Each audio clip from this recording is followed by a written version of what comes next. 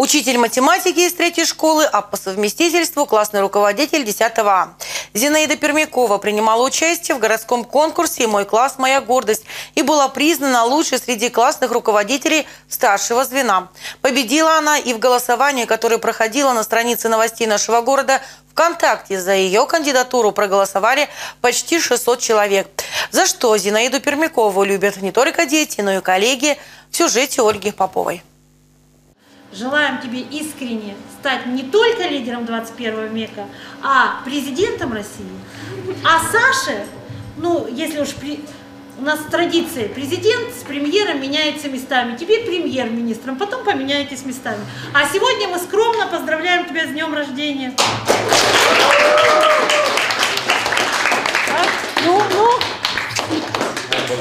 Спасибо. Так начинается урок в 10 А, если сегодня в классе именинник. Дни рождения учеников Зинаида Пермякова не пропускает. Обязательно будут поздравления и подарки. Да и как иначе, ведь дни рождения своих детей никогда не забываешь. А они все свои, родные. К детям я очень сильно привыкаю. Вот в конечном счете они потом становятся уже не просто ну, как бы детьми, но хорошими друзьями, которые всегда могут помочь, кстати говоря. Никогда не отказывают. В любое время суток к ним обратишься за какой-либо помощью, вот они первые мои помощники. Особенно близкие отношения сложились у Зинаиды Алексеевны с ее первенцами. Так она называет уже взрослых мужчин и женщин из своего первого выпуска в третьей школе. Был он в 98 году. Кто кем работает, где и как живет. Она про всех все знает. Это, к примеру, ее школьная внучка, дочка Лены Букиной, девушки из того самого первого выпуска, который уже тоже учится в третьей школе. А этот парень стал человеком мира.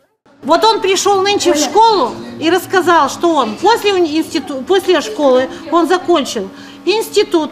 И он теперь, пути, ну, в смысле, не путешествует, он продолжает образование. Он уже два года отжил в Америке, он жил в Чехии, а сейчас он поехал в Таиланд, чтобы подучить английский. Мне очень нравилось старое время, когда не было вот электронной почты и интернета, и они просто писали письма мне. И когда я читала, я прямо слышала и видела этого ребенка, который вот пишет, или просто как бы он вот с какой интонацией он рассказывает о теперешней своей жизни. Очень было приятно получать эти письма. Вторая мама. Хорошая, добрая, когда нужно строгая, веселая, креативная. Так о своей классной руководительнице говорят сами, нынешние школьники.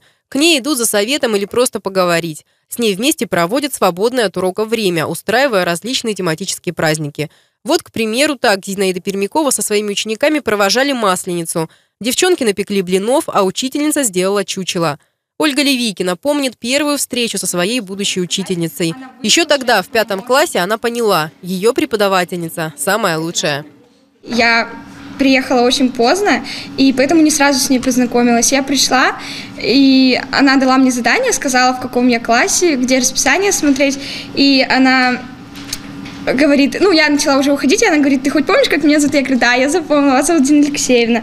Она улыбнулась, сказала, ой, хорошая девочка, можешь идти. Помимо уроков мы проводим э, там тематические э, вечера, мы гуляем, мы ходим там в лес, в походы, в музеи, в кафе. У нее, к ней в гости входим тоже. Есть э, круг людей, широкий, большой круг людей, ее коллег, математиков, и мы совершенно разные люди, в основном учителя русского языка. Мы общаемся вне школы, собираясь у нее тоже дома. Вот ее дом, ее двухкомнатная квартира – деревяшка. Она стала для нас ну, просто, ну, как сказать, центром общения друг с другом. Мы тоже проводим вечеринки. Как ни странно, признается Зинаида Пермякова, педагогом быть она никогда не мечтала. Душа требует творчества, и на пенсии она планирует заниматься дизайном. Но раз так сложилась судьба, работу свою старается делать честно и относиться к ней с душой.